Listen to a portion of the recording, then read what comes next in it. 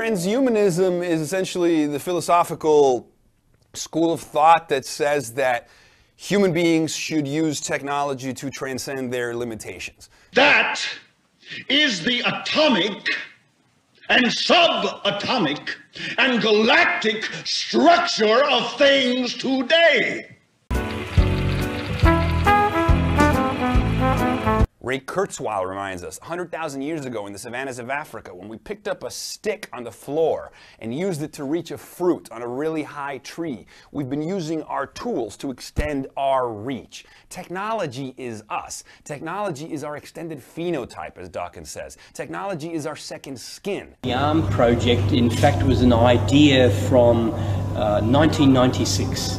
Uh, but at first it was actually imaged as an ear on the side of my head, but surgically this was not a safe place. I might have had a, a paralysed uh, right side of my face if we had done it in this location. You have meddled with the primal forces of nature! Uh, Kevin Kelly, who co-founded Wired Magazine, describes technology as the seventh kingdom of life. He calls it the technium. He says that it's subject to the same evolutionary forces as biological evolution.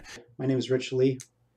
I recently got magnets implanted in my ears because I'm going to make speakers out of them. The human race is obsolete, y'all. But to be human is to be transhuman. But the reason we're at a pivotal point in history is because now we've decommissioned natural selection.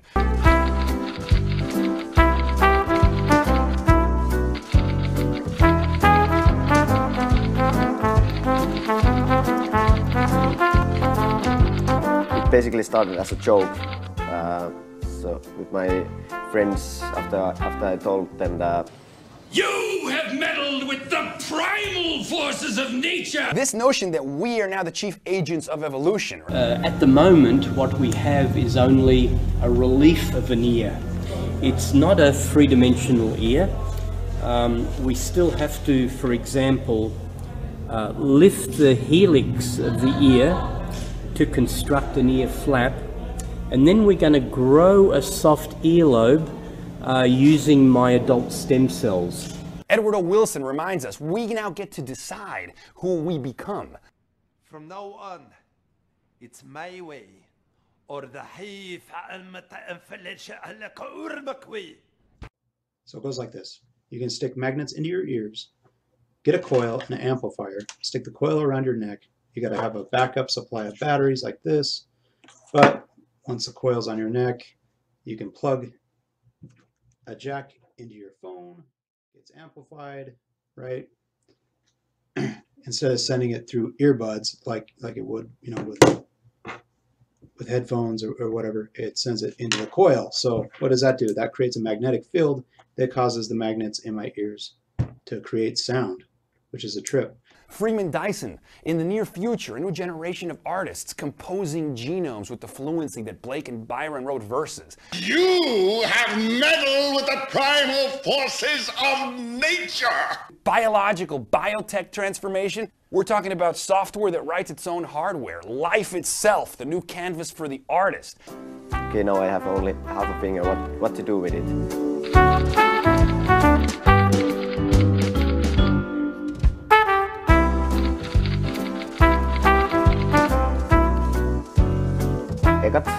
Tunnelmat oli aika, aika kauhistuneita, että ei, ei sitä ihan niinku...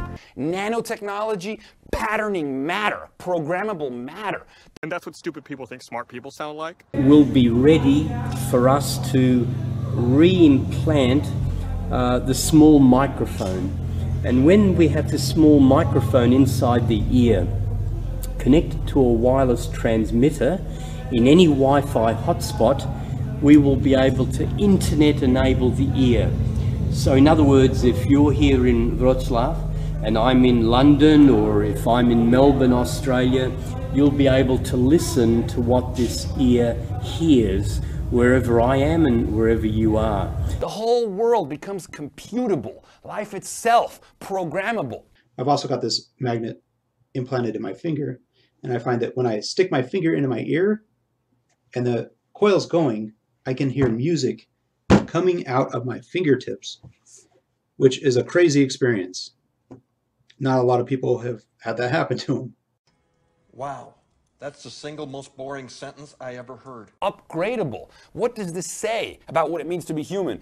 Ihan heti ymmärtäneet eikä osanneet ottaa sitä sillä tavalla ehkä niin kuin vitsinä niinkään, mikä vähän kauhistelivan. Kyllä sitten sitä muutama hetken päästä niin ymmärtivät ysken, että ihan hauska juttuhan se vaan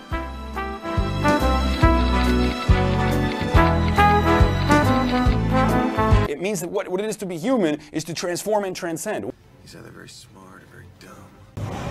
There is another possibility with this ear, um, and the other possibility is that the ear can be a part of a distributed Bluetooth system. So, for example, if you telephone me on your mobile phone, I will be able to speak to you through my ear. But the little speaker and receiver are implanted in a gap between my teeth. So if I keep my mouth closed, I, am, I will be able to listen to your voice uh, from your cell phone in my head, inside my head. Craig Venter recently said we got to understand that we are a software driven species. Change the software, change the species. And why shouldn't we?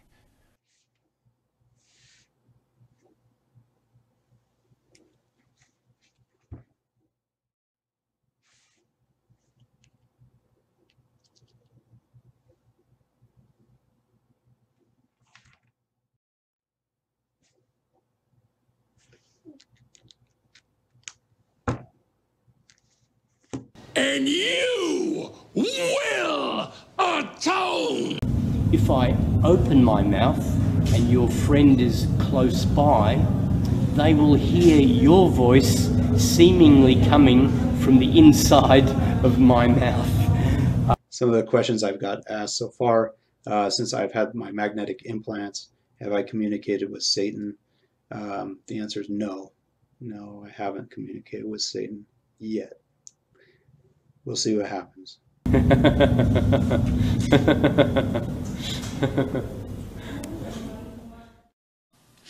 And you will atone. Technology is our extended phenotype, as Dawkins says. Technology is our extended phenotype, as Dawkins says. Technology is our extended phenotype, as Dawkins says. So there isn't a process, as it were, going on in the cell saying, look, be patient. No. It, it's going to be a feather, believe me. yes. It, it's, it, do, it doesn't happen like that.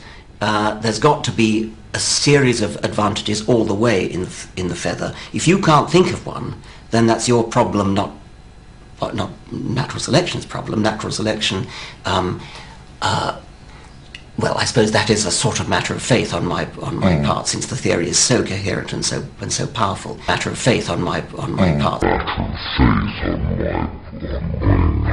I mean, with artificial intelligence, we are summoning the demon.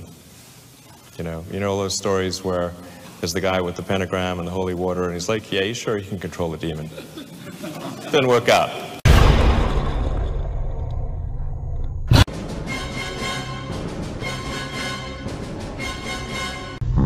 嗯嗯